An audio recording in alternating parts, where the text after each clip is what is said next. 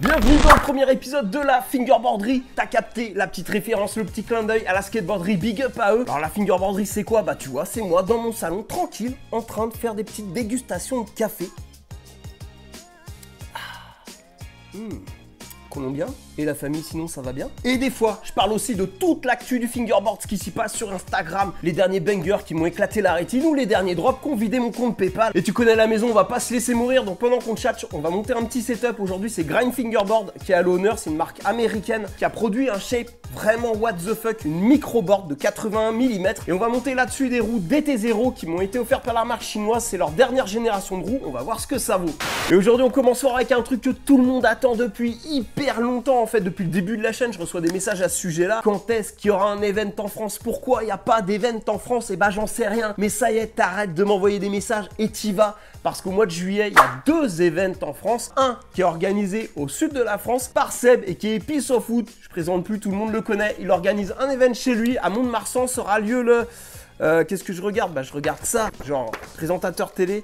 Le 9 juillet, gros gros event avec du beau monde, un contest, beaucoup beaucoup de prix, ça va être trop trop bien. Vous le contactez directement sur son Insta pour savoir comment ça se passe. Le deuxième event, ça a lieu au nord, près de Paris. C'est organisé par quelqu'un qu'on connaît tous très bien, c'est Juan Cruz et qui est Joe TCFB. Il organise chez lui donc un event, ça aura lieu aux alentours du 23-24 juillet. Ça va être vachement bien, profitez-en, ne loupez pas ça, vous allez sur leurs Insta, vous les contactez et voilà. On enchaîne avec quelques drops marquants qu'il y a eu ces dernières semaines. On va commencer évidemment avec des marques françaises. Ça va être principalement français hein, pour débuter. Cola FB qui est euh, nouveau venu et qui se spécialise dans les bushing, qui a fait un premier drop. Euh, qui est actuellement, on va dire, plus expérimental. Il le vendait à prix cassé pour tester la matière, avoir des premiers retours. C'est hyper concluant. Moi, j'ai eu l'occasion de tester. C'est franchement très propre. Et là, actuellement, il bosse sur la V2. Euh, avec des grosses évolutions. Il va utiliser un moule pour avoir un rendu homogène, une production homogène. C'est hyper prometteur. Allez suivre ça de près parce que franchement, des bushings en France, on est obligé de le soutenir. On enchaîne avec d'autres français, c'est Waterfingerboard que je connais bien et qui eux font chauffer l'imprimante 3D et comme personne parce que matez-moi ce stand, il est vraiment vraiment ouf, c'est un des plus beaux et des plus originaux que j'ai vu jusqu'ici. Du coup, obligé de parler d'eux. Euh, ils font aussi des tables de pique-nique, des rampes, etc. Des trucs vraiment intéressants avec leur imprimante 3D. Ils produisent aussi des boards. Bref, allez voir ça, c'est hyper bien. Et on continue notre Tour de France avec un autre petit nouveau qui va faire beaucoup, beaucoup parler de lui, croyez-moi. C'est Tiny Segment. Et Tiny Segment, son délire, c'est l'alu. Il conçoit des boards en alu, des rails, des rampes en alu. Donc ça mélange le pliage, la soudure. En termes de conception, c'est vraiment insane. Et là, il a fait ce petit drop avec ce rail que vous voyez là. Moi j'en ai cop un, franchement j'hallucine, c'est vraiment hyper beau, hyper original, donc j'ai hâte, on en reparlera ici. Et Tiny Segment, son délire, c'est aussi de faire des boards en alu. J'ai eu l'occasion d'en tester une et c'est vraiment un truc de malade. C'est hyper original en termes de sensation. Donc si c'est ça que vous recherchez, vous allez être servi. Mais attention, c'est 100% effectif. J'ai vraiment beaucoup ridé avec et je continue de le faire. J'en ai même commandé une deuxième et c'est vraiment une grosse tuerie. Et le délire avec Tiny Segment, c'est que je lui ai donné un petit nom c'est le forgeron. Parce que le gars, en fait, j'ai capté il y a seulement quelques jours dans une discussion qu'il n'utilisait pas de shape. Il fait tout à l'œil. Tu vas le voir, genre comme un chevalier qui va acheter sa clé mort.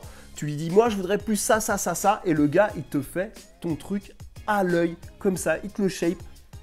C'est juste incroyable. Voilà, Tiny Segment, suivez ça. Faites-vous plaisir sur son drop, soutenez-le parce que franchement, en plus d'être original, c'est vraiment énorme. Et en parlant de drop justement, c'est le retour du Cousy Club. Les Cousy sont de retour après un petit break, hein, ils sont pas partis longtemps. Gros drop de malade, que des nouveaux visuels avec des boards gravés, des boards peintes à la main, 100% graffiti. C'est l'esprit, c'est juste hyper beau. Les plis, comme d'habitude, rien à dire, ça démonte. Allez soutenir, voilà, ça fait plaisir parce que tu soutiens un maker français et en même temps tu te rends service. Le banger du jour, c'est signé Piece of Wood. Et ouais, encore Seb, qui va mettre tout le monde d'accord avec un énorme edit qu'il a lâché pour son arrivée dans le team Aiko. Comme toujours, c'est clean et technique à 200%. Allez voir ça sur son Insta. On continue avec un autre projet français en direct, carrément de la boulangerie, parce que ça s'appelle French Bread Fingerboard. Le mec fait des wax en forme de pain. Donc voilà, et en plus, 100% naturel, tu vois. Donc, il euh, n'y a pas d'excuse, tu vas aller voir ça. Et il a aussi pas mal d'autres projets pour la suite à faire à suivre. Et de mon côté, il y a aussi du neuf avec ce t-shirt que tu vois là, ce beau petit t-shirt. Si tu connais mes projets, si t'es un habitué, tu le sais, je produis des t-shirts euh, dans mon atelier, j'ai sérigraphié à la main. J'avais déjà fait des t-shirts autour du fingerboard, mais moi là, je voulais faire un truc plus straight, genre plus portable, style tu veux aller à la soirée de l'ambassadeur ou même chez mamie, tu vois, et afficher, tu vois, fingerboard, mais, euh, que ça passe bien. Bah voilà, ça a donné ça. C'est un peu ma poche, c'est la poche de plein de gens, hein. tu me diras un petit Posca pour écrire des petits mots d'amour comme ça. Un petit fingerboard, hein, évidemment, parce que euh, bah faut se défendre. hein. Donc un petit fingerboard. Ah Bref, si t'as envie de soutenir, c'est dispo dans ma boutique Vinted. Le lien il est dans la description de la vidéo. C'est dispo dans toutes les tailles, il suffit de le préciser dans ton message. Voilà, le setup est prêt. 81 mm de longueur sur 31 mm de large. Juste un petite comparaison. Ah, Est-ce que vous voyez ça? Ouais, voilà, regardez la taille de la wheelbase. Rien que ça, je sais même pas en fait. C'est ça le délire. Je sais même pas si c'est praticable. Ça se trouve, ça ne l'est pas du tout. On va le savoir. Je vais la tester. On va, on va en reparler. Hein. Toute honnêteté, vous connaissez le quetru. Mais avant ça, on va passer au big up. Merci beaucoup pour le soutien de ces dernières semaines. Vous avez été nombreux à rejoindre l'équipe. Big up à Doc Corsa, Jean-Jacques OFB, Manca 974, Grégoire, G6 Carapuce, Mathéo, le supporter masqué qui se reconnaîtra. Et j'en place une spéciale pour Gabin FB. Joyeux anniversaire à toi, poto. Merci à vous, l'équipe. Je reçois aussi beaucoup de messages pour savoir quand les roues seront à nouveau disponibles. Ça arrive. On a juste repoussé le drop pour vous préparer une grosse, grosse surprise. Vous verrez ça bientôt.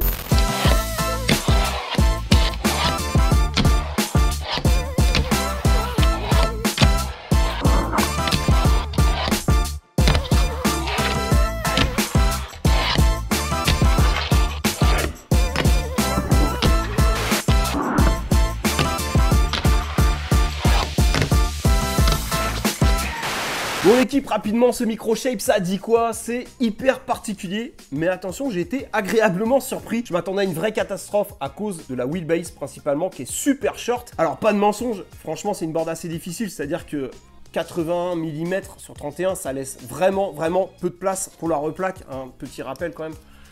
Voilà, ça c'est ma board, ça c'est la, la, board de chez Grind Fingerboard. Par contre, en fait, elle est 100% fonctionnelle, c'est-à-dire qu'avec un peu d'habitude, ça va vraiment bien donner. Moi j'ai fait ce test en 35-45 minutes à peu près, donc j'ai pas eu le temps de prendre mes marques réellement. C'est pour ça qu'il y a peu de tricks en Switch. Elle est courte, je pense que ça me laisse peu d'allonge. Donc voilà, mais en travaillant, c'est même un setup que je vais garder justement par curiosité parce que c'est une board super agréable à rider, hyper bien calibrée, avec un kick euh, médium. Les deux kicks sont médium.